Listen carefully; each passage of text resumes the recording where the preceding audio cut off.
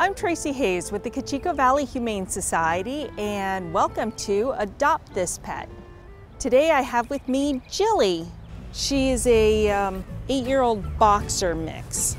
Very sweet girl and she is looking for a medium energy home that will hopefully have older children and no other pets. She doesn't get along with other animals too well, but she is a very sweet girl and is looking to spend her years with some loving family.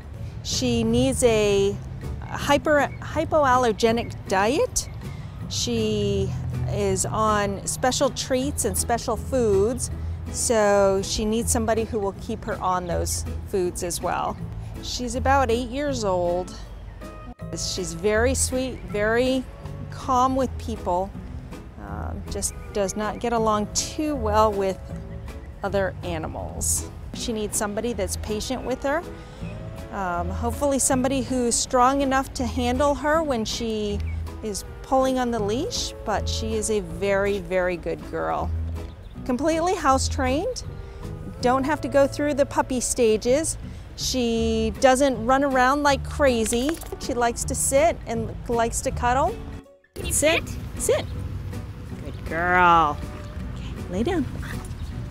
Good girl. Go. Oh, good girl. And likes to spend quiet time with the family.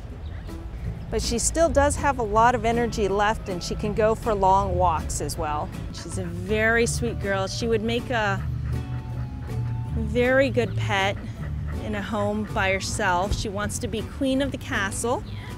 Sit. Good girl.